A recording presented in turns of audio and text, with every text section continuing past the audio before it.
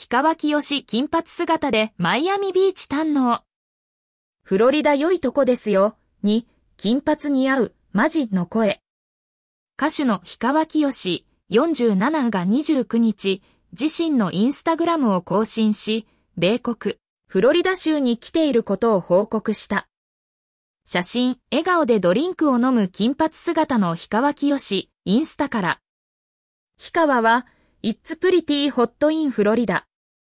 I found a nice shop in Miami Beach. フロリダはかなり暑いです。